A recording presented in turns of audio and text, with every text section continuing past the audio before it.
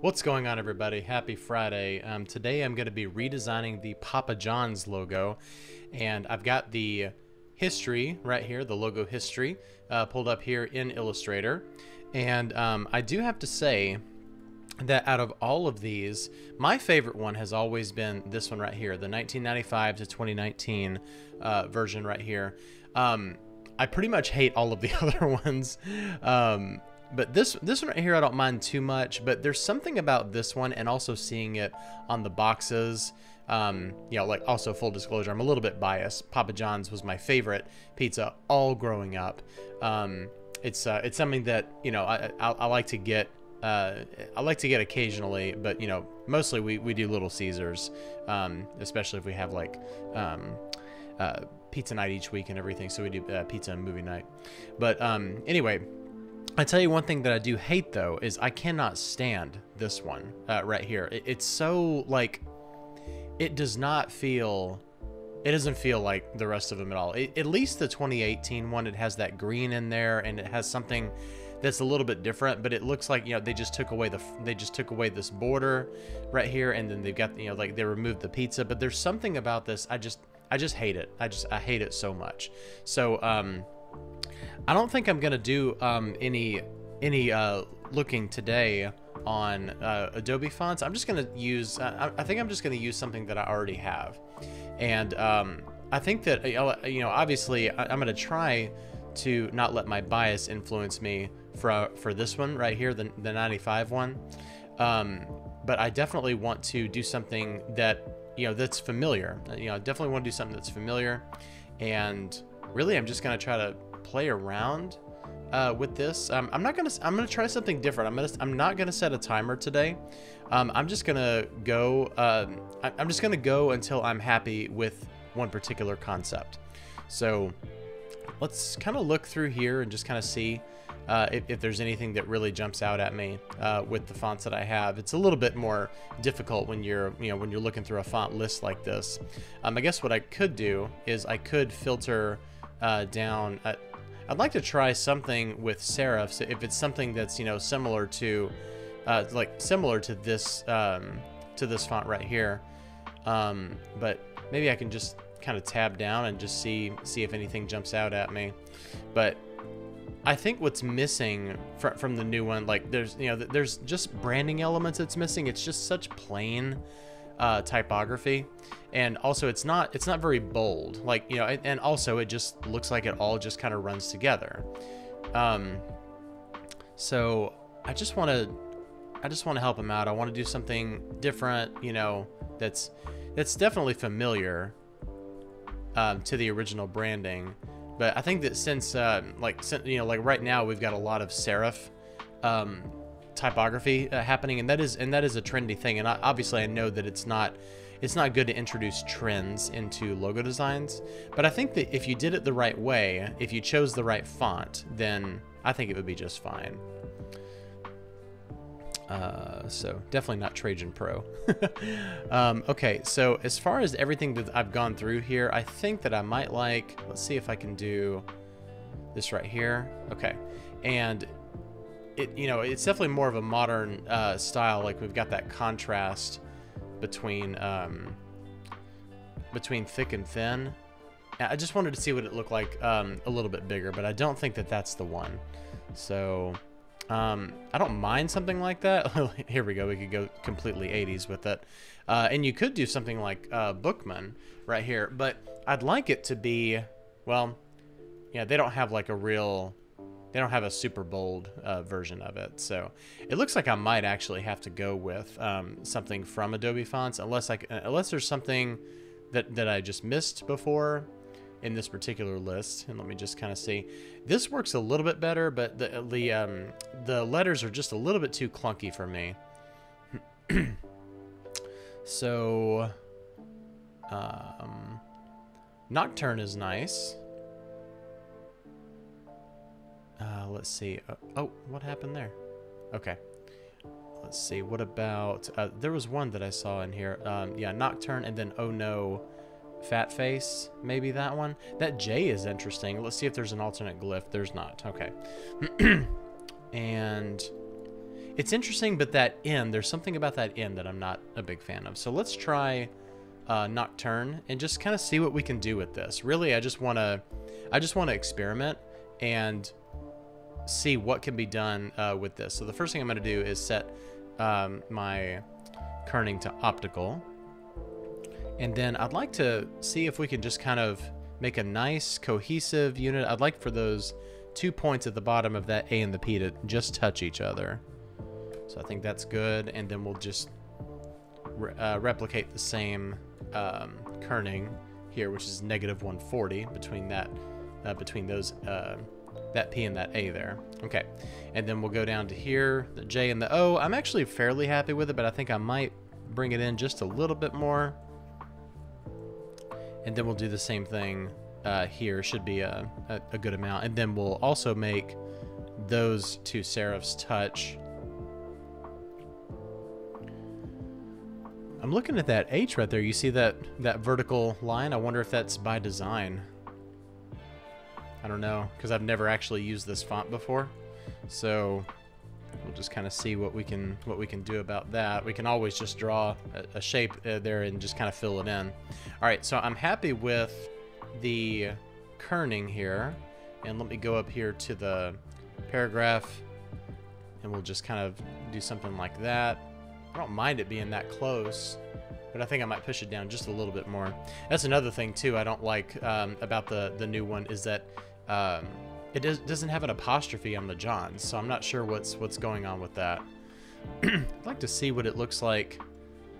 It doesn't necessarily have to be centered, but I think I actually like it better centered. Okay, so now that I've got the kerning the way that I want it, I'm going to set this over here. I'm going to create outlines and let's go ahead and unite and make sure that everything is taken care of here. So we've got this little thing going on. I don't know what's I don't know what the deal is with that. But it's almost like it's just kind of pushed out a little bit too far and I don't want it to be. So let's just bring it over there right there. And I think, yeah, we'll do the same thing here. So we'll just grab this and just push him over. There we go. And normally, you know, I don't mind uh, when, um, you know, when a font has a little bit more, you know, like some little design elements that are like that. But for some reason, like, you know, just for the for, for the brand of Papa John's, it just doesn't seem to fit.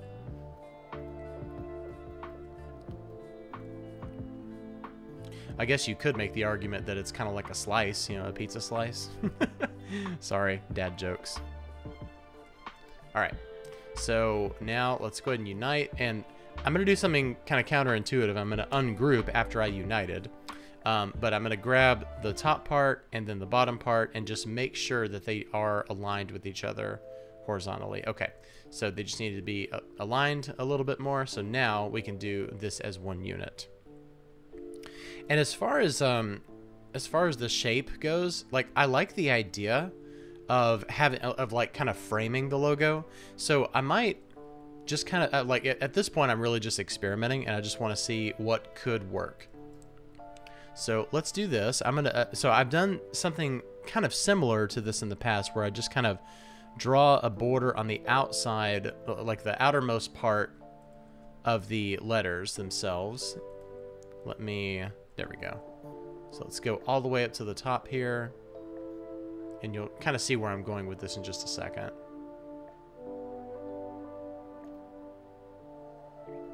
All the way on the outer edge. And we'll include this as well. And let's move, let's align this one with that. There we go. And let's go ahead and close this one up. Good. So now we just switch over to a stroke. So as you can see, we've got like a little frame going on here. Uh, and what I'm going to do is I'm going to do a path and offset path. Push it out to about, I think that's good, right there, 0.375. Uh, expand it, expand the fill and the stroke, and then ungroup. And then there we go, we've got our little frame right there. And I just want to see, really, I just want to see what it looks like. So let's, um, oh, you know what? I actually did not mean to, there was something here that I didn't, uh, didn't mean to do. So let me, yeah, here we go. I just want to delete that one. There we go. Okay, I wanted to keep that as a stroke so that I could change it to a uh, uh, like so I could change the roundness of it, and we can all and we can even do it you know even more. We can do something like that. So, but I want to make sure that it's uniform all the way around first, and this is going a little bit lower than I'd like it to go, but it's mainly because of that J right there. So maybe I'll just optically just kind of bring that up there. And then we can just kind of uh, color sample this green right here. And let's unlock this. All right, and then we'll just, I actually like that nice vibrant red uh, right there, but I wonder if, um, you know, I actually kind of like this darker red too. so, oh, I know what I, I know what we can do. I know what we can do. So we can do like a little thing right here. Let's do a fill of this. And actually before before I before I do that, before I do that, let's go ahead and round the corners and let's make them consistent with each other. I definitely want them to be more rounded than this.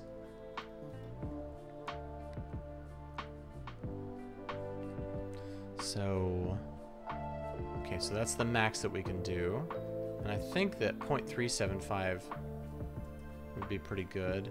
The only thing is I'm not I'm not too sold on the fact that it's uh, that it's narrower on the top than it is on the bottom, but I at least want to try. Um, I at least want to try what I was going to do a second ago um, with this uh, same concept. So I think I'm going to make the outline of this. Let's try making it red and see what happens. And then we can just put pizza on the inside of that. And as far as the sizing goes, let's bring it down to maybe 40, 40 points, something like that. And let's get our let's get our kerning uh, happening here.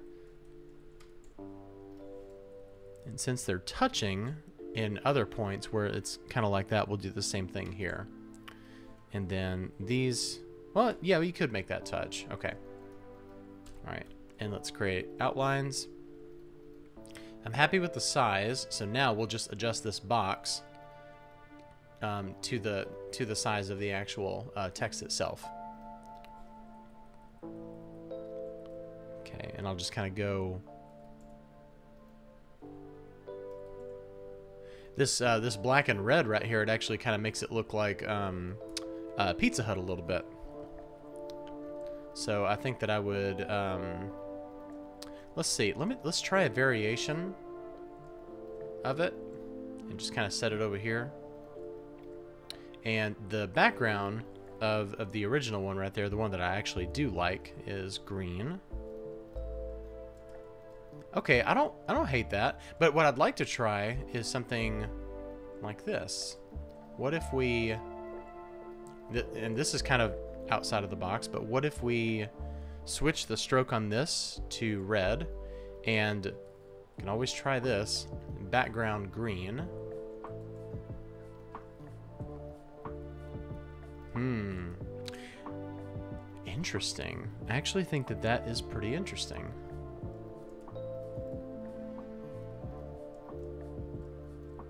I don't know. What do you think? And then you could also do something like this. I don't, it doesn't look like, yeah, it, so it, look, it looks like they've never done this. What if they did um, the inside of it red and then we copy the stroke over. Actually, yeah, I need to just swap those. There we go. It's a much faster way to do that. And then we can swap those as well. Although it is kind of, I don't know, that seems a little bit strong. So I wonder if we would just take this down to black or something, like the black, red, and white. That's interesting. Although, let's see, out of all of these, um, hmm, it's kind of hard to say, but I think that I like, like, just in terms of thinking about branding, marketing, and packaging and things like that, I think that probably this one would work the best, the one in the top left. So I think that I will just kind of set this over here and maybe put these over here just in case I want to revisit anything. But I think that I think that's going to be my winner, is this one right here. And let's see. There's something that's telling me that I want to just round that. There we go. Yeah, I, I like that much better. I like that a lot better. Okay. And one thing I do want to try is something we don't see a whole lot of uh, these days, but I do want to try it, is to do just like a little uh, shadow here.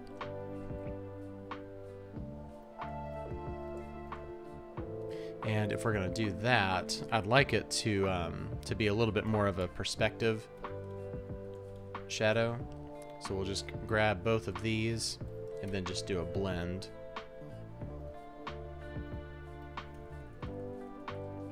And set it to about 100 steps there. Expand this and then unite.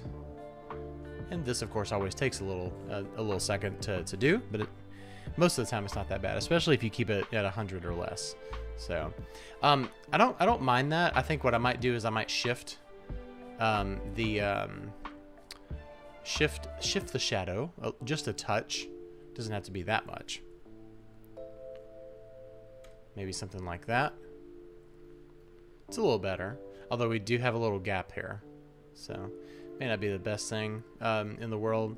And um, I don't mind it actually. I, I, I, don't mind it, but I also don't mind it without the shadow. I, like so. I, so I think that I think that just in terms of branding, and this is just something that I came up with quickly. It's really just kind of doing it without doing any kind of planning. Uh, but if I were to refine and refine and refine, I, I might go in a different direction um, than this. But um, but just what I was able to just kind of quickly throw together.